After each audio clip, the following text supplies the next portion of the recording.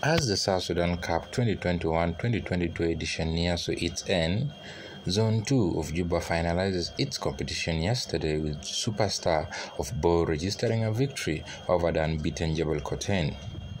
Jebel Koteen picked form in its first 10 minutes of the match with much effort to register a goal. However, Stars defenders never allowed them a chance. The Superstars never wasted their effort after their striker made a shot which touched the back net of Jebel Koteen. The match continued very well with Jebel Koteen trying to equalize the match while Superstars defending their lead. But after a given chance again, Superstars got another chance and ended the first half of the match 3 0 in their favor. The second half of the match gave a penalty shot chance to Jebel Koteen after their striker was brought down by Superstars defender.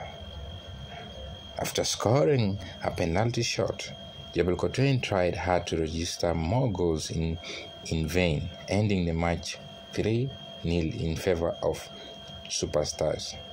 Both teams has qualified for the semi-finals of the South Sudan Cup 2021-2022 edition.